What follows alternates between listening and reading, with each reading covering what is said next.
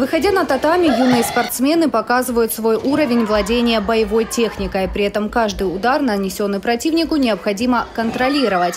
Со следующего года карате официально станет олимпийским видом спорта.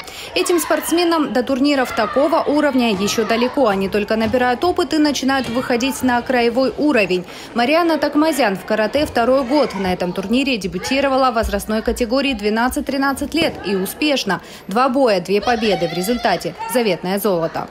Пока что я хочу заниматься ну, ради своего же опыта, чтобы развиваться в спорте.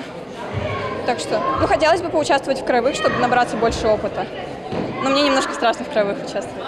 По результатам этих соревнований подростки с 12 лет получают свои первые спортивные разряды, а бойцы постарше их повышают и могут претендовать на место в сборной. На основании этих соревнований будут отбираться у нас городская сборная для участия в краевых соревнованиях.